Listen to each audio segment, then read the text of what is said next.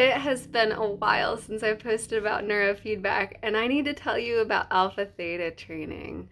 Alpha theta training is different than beta SMR training. So, remember videos and videos ago, I showed you what we do on the software that we use is EEGer, um, where we're watching your brainwaves live and you're playing a video game with your mind and your eyes are open. Well, alpha theta training is a training used in neurofeedback that is an eyes closed training. So, you still have have an electrode on your head and probably a couple of electrodes on your ears as well as one for the ground on your ear and your eyes are closed, you have headphones on, and you're hearing four sounds. You hear a bing, a bong, a babbling brook, and an ocean. And with these four sounds, they are guiding you into a theta state. So this is an alternative for hypnosis.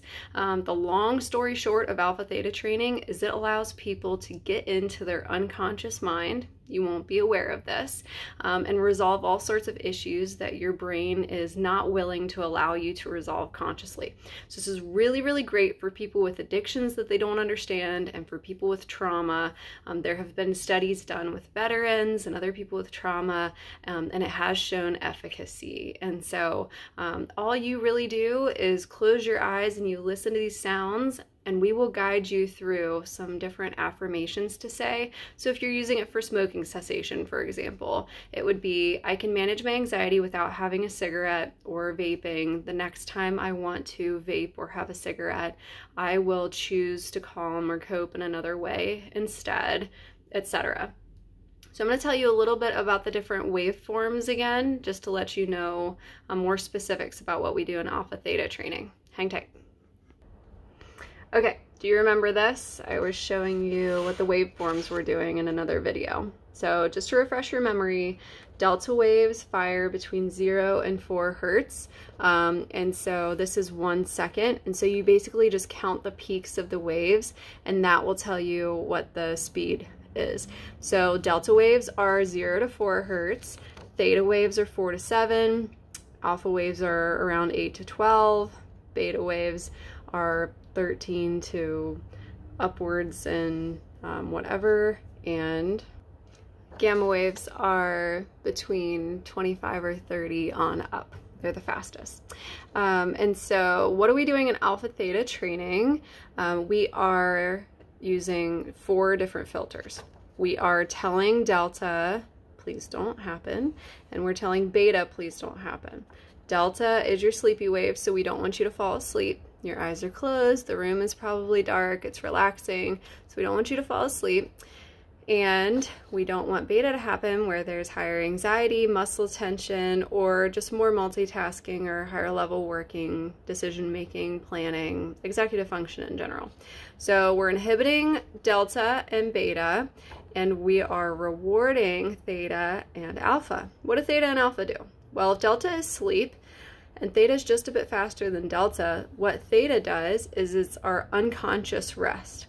And so this is when we are daydreaming, drifting. If you've ever been like watching TV and you just kind of like feel yourself nod, that nodding feeling is you slipping into theta. It's unconscious. And theta allows you to dream. Um, and so it's really important for you to get into REM sleep so that you can dream. Alpha, a bit faster than theta, is what allows you to consciously experience the sensation of rest and relaxation. Anytime you know you're chill, it's because you're operating in alpha.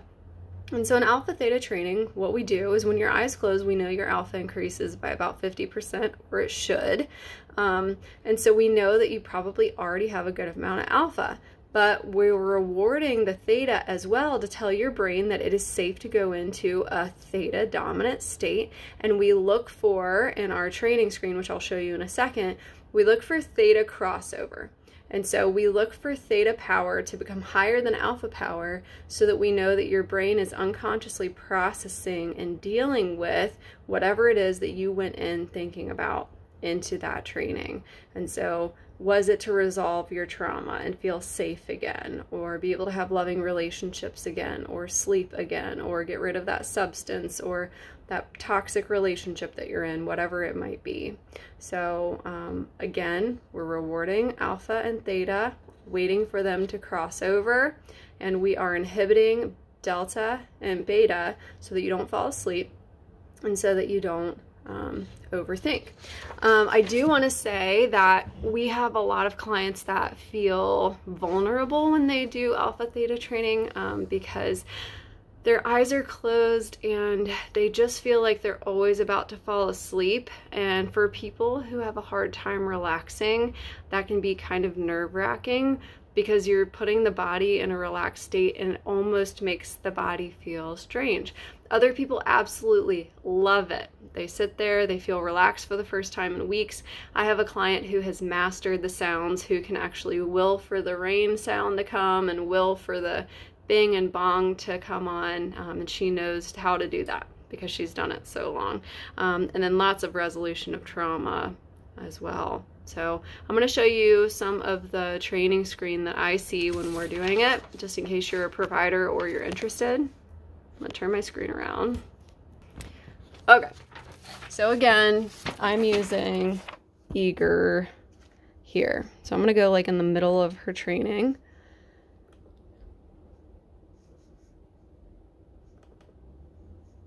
And we're going to watch what her waves are doing. Okay, so these right here are alpha waves. And you can see, wait for it. This is one second. And so we are counting the number of peaks that happen in a second in order to know what the frequency is of this wave. So these guys here, see how they're slower? There's a slow one, slow one, slow one. Um, so that was a delta wave that had alpha and beta riding on top. Um, but this guy right here, theta, theta, there's alpha. You see the difference between alpha and theta? Just a little bit more space between the theta wave and the alpha wave there. There's a good one. That's a good theta wave. And so she's in theta right now processing something, but these are millions of neurons firing at PZ all at once. And so you're still going to see um, some beta riding on top of a theta wave. You're going to see alpha arriving. There's distinct alpha right here. This is, she came back to consciousness and she's just experiencing um, relaxation again. There's alpha, big alpha, big alpha, good. She came out of that unconscious state that she was in, whatever that process was. And she won't have a recollection of whatever she processed. See how it's starting to flatten out again? And now she's going back. There's theta. Theta. There's alpha again. Alpha, alpha, alpha. There's theta, theta. Alpha's transitioning into theta. There's a little bit of alpha. And we go. So as your provider, we watch the screen. I'll zoom out a little bit. So this is the theta that we're 5 to 8 hertz. This is the theta that we are um, rewarding. This is the alpha that we're rewarding, the delta, and the beta. I'm sorry, we're inhibiting the delta and the beta. I didn't say that, but um, that's why you see reward, reward, inhibit, inhibit here because we're telling the brain don't sleep and don't process too much stuff or get anxious or let muscles get in the way. Just chill in a conscious and unconscious way. So, what are you doing to my brain? Um, I have a client ask, and I say, just like in the other neurofeedback that we're doing, um, if the brain receives feedback and it, do, it doesn't believe that it's relevant or helpful or going to help it optimize, it simply won't take that feedback. Um, the electrodes that we put on your scalp and on your ears are simply reading information. They're reading the electrical activity in your brain. They're not doing anything to you. So if you have heightened sensory sensitivity and when you have an electrode on your scalp, you feel like it feels electrical, that's just anxiety making you feel that way. So rest assured, we're not doing anything to you. Um, if you change, it's a result of your brain believing that that's the most adaptive thing for you. So if you have more questions about alpha theta training, let me know. Um, the only other one that I'll answer because I've been asked before um, is does alpha theta training require me to come in twice or three times a week like beta SMR video game training? No, it does not. You can do it once up to however many times you want, um, but we see people experiencing resolution after three to 10 alpha theta trainings just depending on how severe the issue is. Oftentimes somebody will come in and they'll want their affirmations to be about one thing when they do it.